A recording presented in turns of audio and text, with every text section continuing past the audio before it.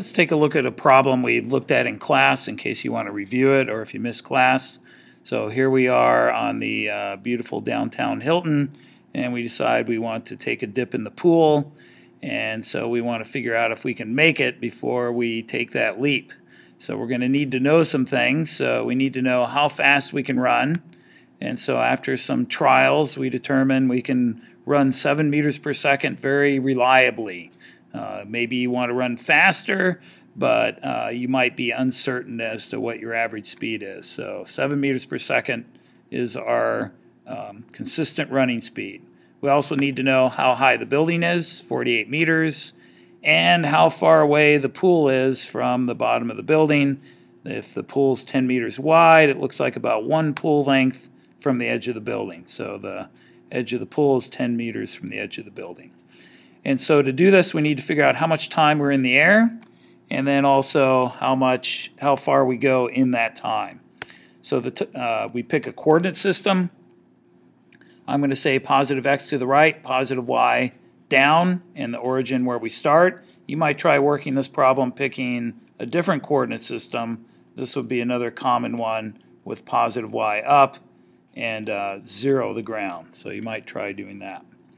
And so we look at the y motion to figure out when we're going to land because gravity acts in the y direction only, and uh, that is what's going to make us hit the ground.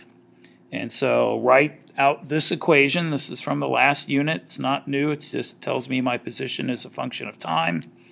And then you have to figure out what all those things are.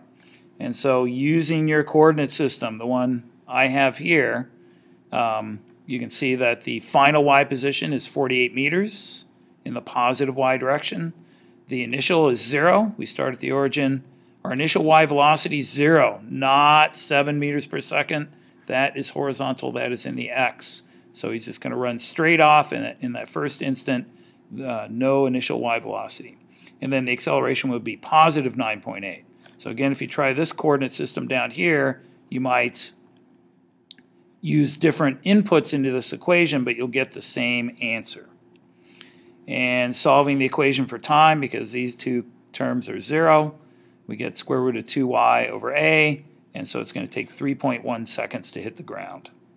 And so now we look at the x motion to see how far we go. Are we going to make it to the pool? And it's the same equation, but this term here I'm usually not going to write because the acceleration in the x direction is 0 for projectile motion. And so the initial x is 0, the initial x velocity is 7, and the time 3.1 seconds, and again the acceleration is 0. And so we go 21.7, so we easily make it. Or do we? Oh, we went too far. But we're okay because we worked this out ahead of time. We haven't jumped yet. And so maybe what should we do? How about how fast should you run to land in the center of the pool? And so pause the video, see if you can work that out. Here comes the answer. 4.8. So if you can get that, you've got these problems down. See if you can work this. What if I told you it was 21.7? Could you tell me the height of the building? or how fast he's running. Make sure you know how to do this problem all year long.